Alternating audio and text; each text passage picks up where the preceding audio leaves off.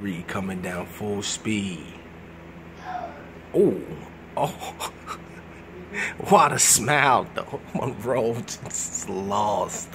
What are you looking at, man?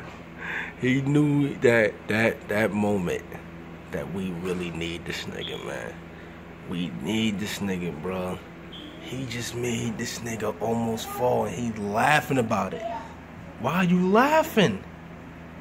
Let's go back. Let's go back a little bit. Kyrie coming down full speed. Full speed. Got him. Where you going? oh, oh, this nigga's at baseball practice. This nigga's doing.